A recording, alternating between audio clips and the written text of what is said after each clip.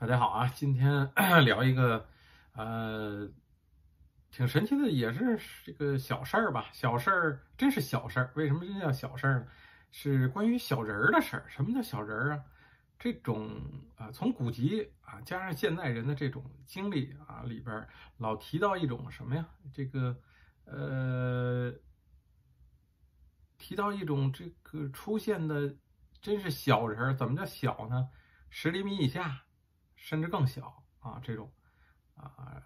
你看这个《镜花缘记》里边，这个说过，这个有出现这种小人，还骑着个马，最后是被被给被他们给吃了，然后说能增福增寿啊，这种这这还这谁是这不是谁想出来的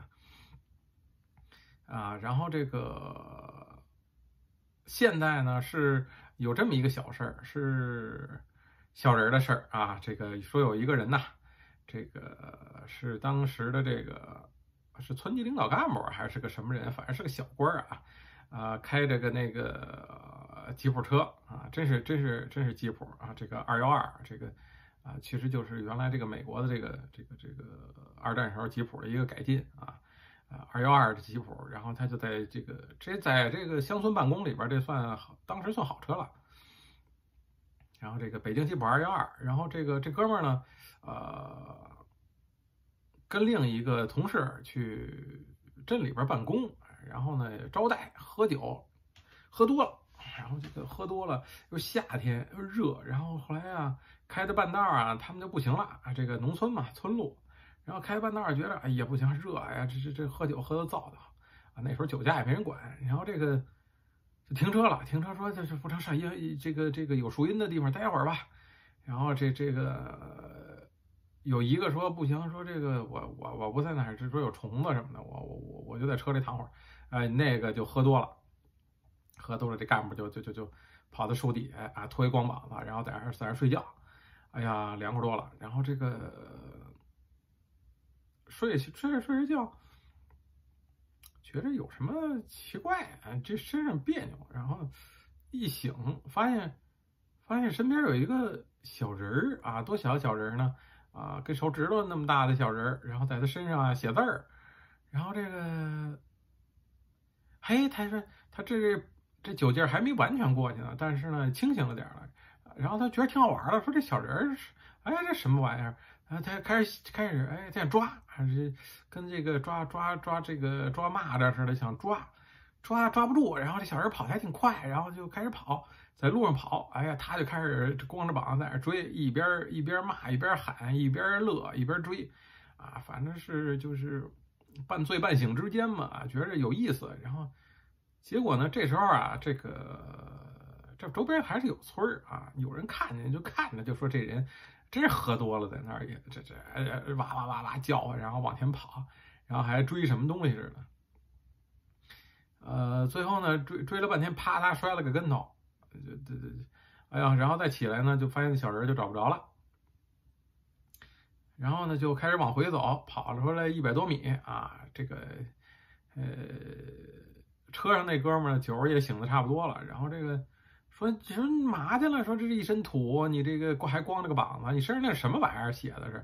然后说：“什什么写的什么呀？”然后这个拿这个后视镜啊一照自个儿，说：“这个。”刚才他醒的时候，发现那小人在他身上写字儿，还真是写字儿了啊！用红笔写了一大堆，看看不出来、看不懂的什么字儿，反正写了一堆小字儿，他小。哎呀，说这个啊，反正是呃，就就就就这样。然后就就大伙儿都说这这哥们就是喝多了啊，然后这胡说八道呢。他告诉人家，人家都不信。但是那小字儿呢，确实这同事也看见了，确实有这么个东西啊。反正就是这么个怪事儿吧。其实好多人都说啊，有时候小时候能看见这种小人儿。啊，有的是说什么那个啊，回忆儿时的记忆啊，说这个小时候看见有这个啊一点一一丁点儿大的，你的他小啊，他可能几岁，然后看见那人也也更小，然后说这个呃跟火柴棍儿差不多高的那种啊，也也就我估计跟这个小手指头差不多大吧。说这小人儿啊，还什么有吹吹打打的，像那个。啊，出殡的呀，结婚的似的，然后还在这排着队走，然后这个，然后呢，有的是走着走着就走到墙里边不见了啊，有的是这个，呃，看见人就惊吓的不行，然后就就逃跑了，然后这个，最终也闹不清楚是个什么东西啊，这种这种这种小人儿这种这这种情况，呃，按我说这东西，我估计就是某种啊精灵幻化吧。那你要说有小人国嘛，就就真像那个呃这个这个这个这个西方这个童话里边的小人国，这个也还真不好说，有那么大的人吗？这个这咱也不能下定论说没有啊，就就说没有。呃，因为什么呢？说这个，你看这个佛经里有记载啊，说这个到了呃下一节啊，这个人类这个一劫，什么是一劫呀？这个呃，这个这个就是这个五十五十多亿年吧，大概啊，这个你要算算数字就五十多亿年。反正就是弥勒菩萨这个转转世这个呃下下这个兜率啊，从兜率啊内院啊这个下降到这个这咱们这个世界，然后这个成佛啊，这个是下一节的这个佛啊，这个弥勒菩萨成佛，这个呃到那个时代，说到那个时代什么样啊？说到那个时代是呃人身高很高很高，然后这个。我估计怎么也得几十米高吧，然后这个福报也大，那时候地球环境也好啊，这不用劳作也能也能有收获。然后就是这种福报大嘛，这个弥勒菩萨是修福的，然后这个福德无边的这个这个这个呃这种这种这种善报啊，然后这个呃到那个时候，这个是人的身高非常高，然后这个呃。然后这个咱们有一个有一个有一个释迦牟尼佛的弟子还在这个啊大迦舍，然后还在鸡足山等这个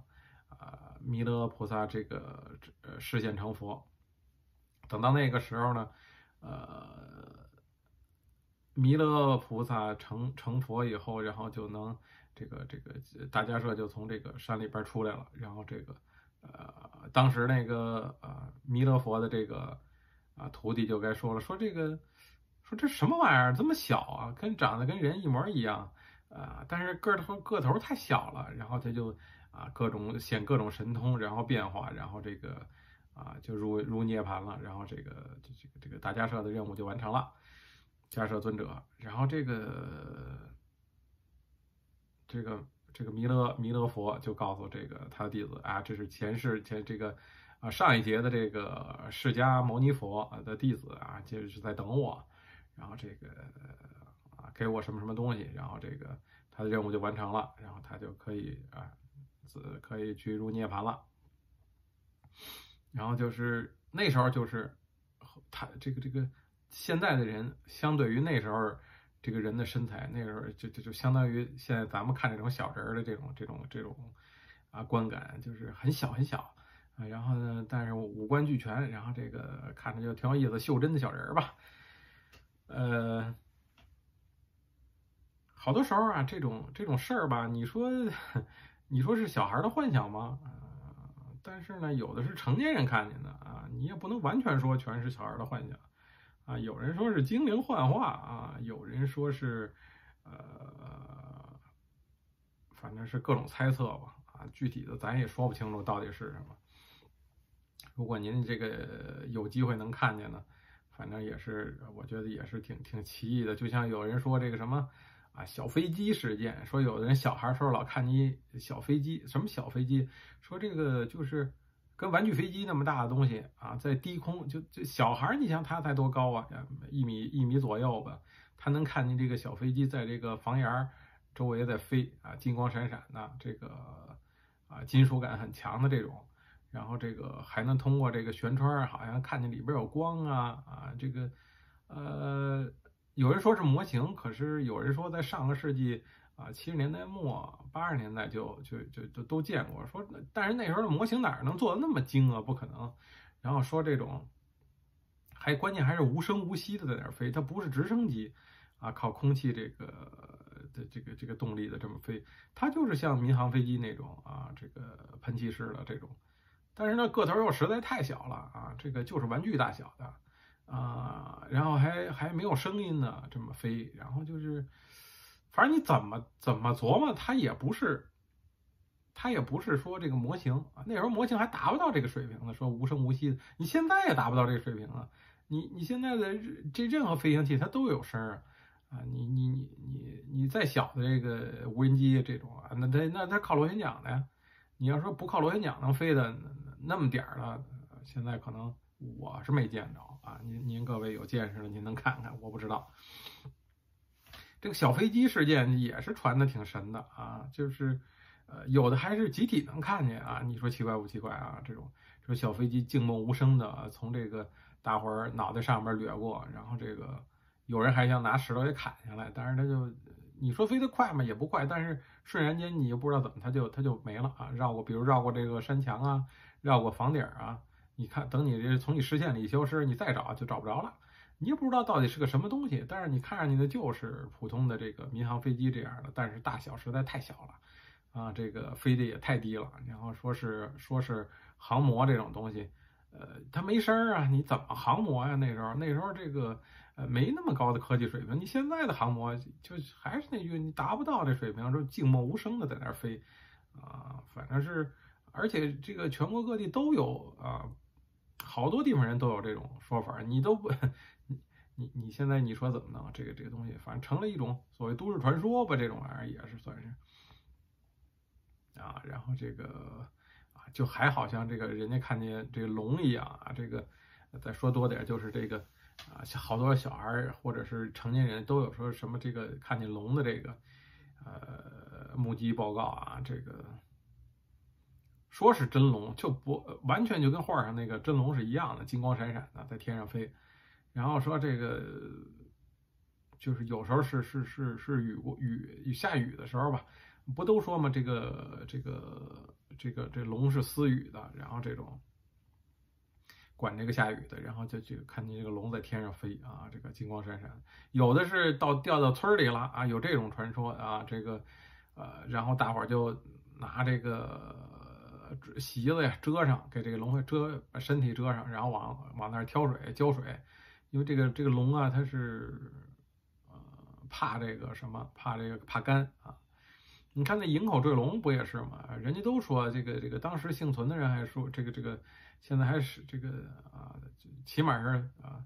那时候是小孩，但是也知道，也看见，亲眼看见这个龙啊，活到现在九十多的那种。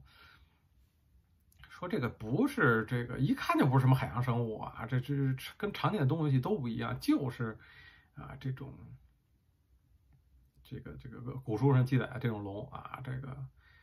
呃挺老长，爪子啊，它头什么样啊，尾什么样，身上有鳞。啊，这个，然后那个有的是这样，有的是像这个营口这个龙说是死了，然后这个还有骨头什么的呢，这叫角类合璧嘛，就是说这个这个这个是是胶类啊，不是不是这个，呃，还没说是龙啊，胶类胶就是这个水里边的这个龙的啊，怎么说呃，算是成龙之前的这么一种状态吧，叫胶。然后这个等于是水龙，水龙的一种，只是比较啊比较年轻一点，比较还没有还没有真正化龙的这种啊这个龙的前期这个状态，呃，这是死了，然后这上了这个《圣经时报》了，然后这个有的呢说这个村里，而且这个掉在村里，掉在这个内陆村里的这这个龙啊，是这个呃。